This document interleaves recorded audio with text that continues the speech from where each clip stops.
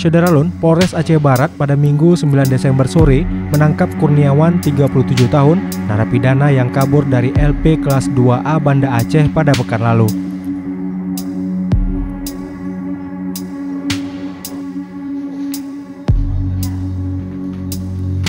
Kurniawan ditangkap polisi di Jalan Kayu Putih, Lapang, Melabuh, Aceh Barat, diwarnai dengan tembakan senjata api yang mengenai kaki kirinya karena berusaha melawan petugas.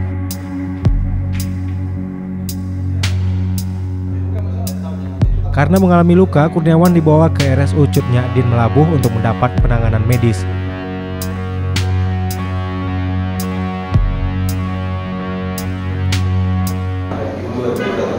pintu LP terbuka. Terus orang-orang yang kadang-kadang gitu oh jadi kamu di belakang gitu Iya. lari terus?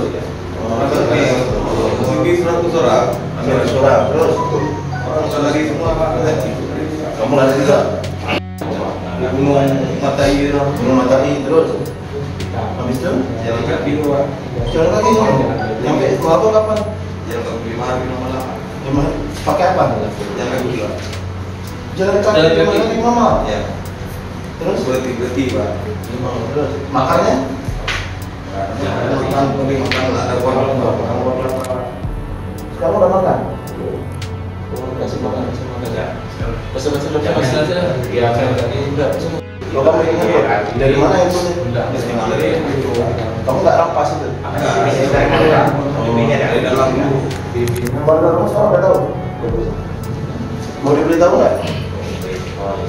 Berarti cuma ada rumah lah ya. Belum ada blok rumah kan?